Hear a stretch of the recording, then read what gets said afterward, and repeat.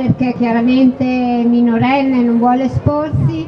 E Matteo invita Salvini a provare a mettersi nei panni di un migrante, lo invita a stare su una nave in mezzo al mare per giorni e giorni, lo invita a stare anziché in una casa con l'aria condizionata su una nave dove ci sono 41 gradi, lo invita a fare questa vita non per un giorno ma almeno per due e forse dopo anche Salvini potrà cambiare. È il pensiero di un bambino e speriamo che sia così.